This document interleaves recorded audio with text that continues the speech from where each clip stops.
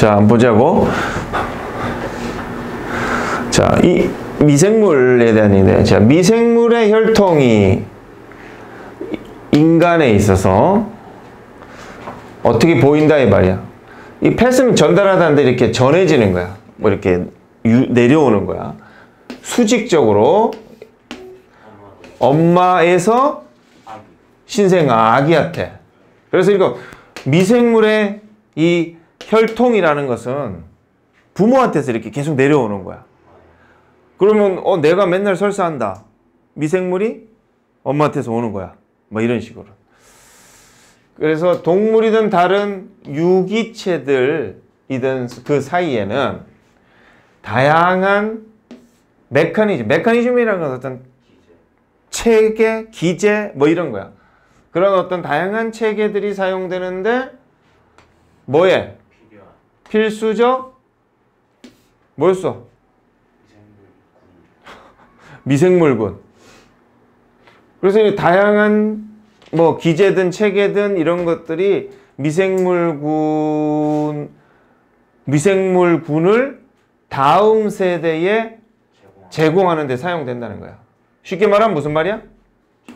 다양한 이런 시스템들이 이런 필수 미생물군 미생물도 우리가 필요한가 봐. 사람 사는데.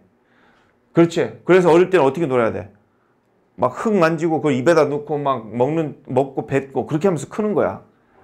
그런 것들이 그런 미생물 군 같은 게 다음 세대에 꼭 필요해서 전달을 해준다는 거야.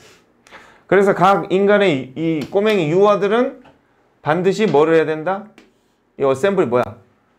모으다, 합치다, 조립하다 이런 말이야. 이거 뭐 되게 말 어렵지? 그러니까 어떤 소화관 생태계라고 그러자. 소화관 미생물, 미생물군 이런 것들을 만들어야 되는 거야. 그리고 엄마가 그 시작을 제공한다니까. 엄마가 시작 제공하는 거 맞지? 자, 그렇게 돼. 그리고 그것은 했어. 그것이라는 것은 이제 엄마가 제공해 준 요거지. 자, 요 어부터. 그것은 유산의 일부다. 돈 유산 말고, 애기 유산 말고, 무슨 유산이야, 저거는? 어, 그런 유산 있지. 뭐, 문화 유산 이런 거지. 이건 전달된 거. 유아에게 전달된 유산의 하나다. 뭐와 함께야. 얘는 따라서인데, 위드까지는 함께야. 그래서 유전 정보와 함께 인간의 세포 속에 있는. 그러니까 인간이 살려면은 여기서 말하는 건 두 가지가 유전이 돼야지 살 수 있는 거지. 뭐랑 뭐? 유전 정보도 와야 되고 이런 미생물군도 혈통도 와야 되는 거야. 그렇지? 어, 그렇지. 그래서 조금 야한 얘기인데 우리 인간은 그래서 뽀뽀를 하는지도 모르겠다. 그지? 서로 더러운 이 미생물들을 서로 넣어주는 거야. 넌 내 거 먹어, 난 네 거 먹을게 이러면서. 그게 다 이유가 있구나. 그지? 자, 주, 중요한 거 배웠다, 그지? 박수 쳐야지, 박수. 자, 박수. 야, 복용 박수 안 쳐?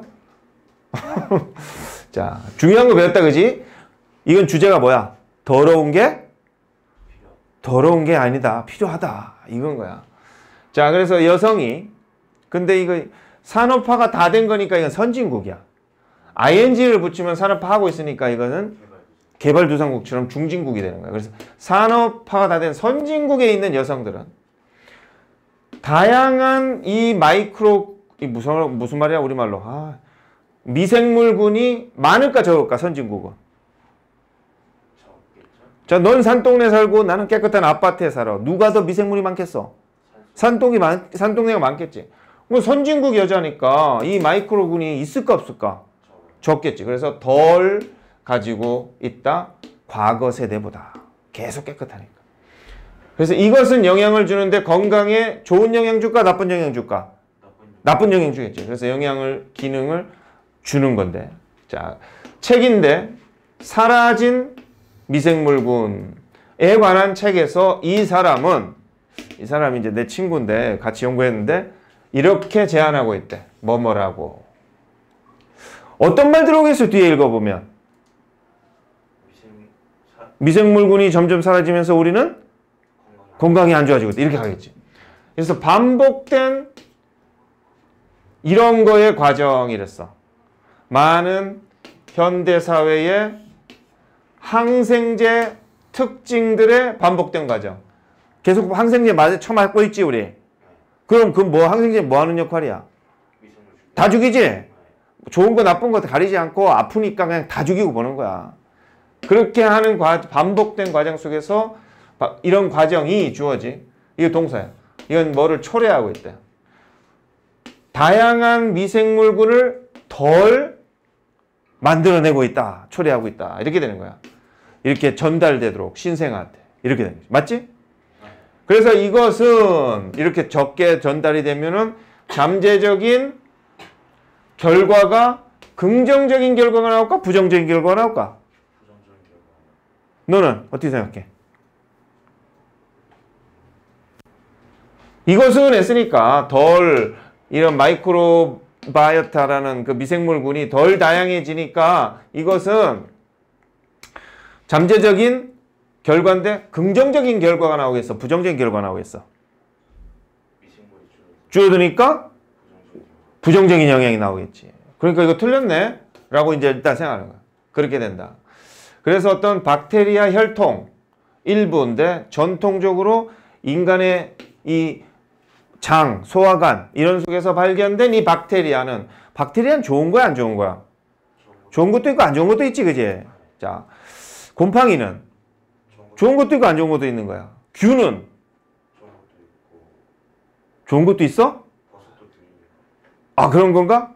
아, 균은 좀 안 좋은 게 대부분이다 그지? 그래서 뭐 박테리아다 균이다 뭐였냐 또 미생물 미생물이다 뭐, 뭐 등등은 조금 이제 그런 차이가 있는데 하여튼 박테리아 혈통에 소화관에 있는 혈통은 멸종이 될지도 모른대. 이것은 이건 촉진시키다야. 과학자들이 시작하도록 했네 뭐를? 수집하고 보존하는 거를. 다양성 고다양성의 예를. 이거 있어야 되잖아 전통적인 사람으로부터. 그럼 이렇게 하면 되겠네? 산동네랑 아파트에 사는 사람들 있다. 어떻게 하면 돼? 산동네 애들 침을 모아가지고 이 입에다가 넣는 거지. 그냥 넣으면 안 먹으니까 밥에다가 조금 넣어 놓는 거지. 그럼 애가 갑자기 건강해지겠지? 자, 그렇게 해야 된다. 그래, 어떻게 보면은 옛날에 무슨 나 같은 신분의 사람들, 뭐 세자다, 왕자다, 이런 애들은 빨리 죽을 수밖에 없었을 거야. 마당새나 사머리는 오래 사는데 세자, 이런 애들은 오래 못 사는 거지. 이걸 수도 있지? 자, 요 정도 볼게. 빨리 가라, 니.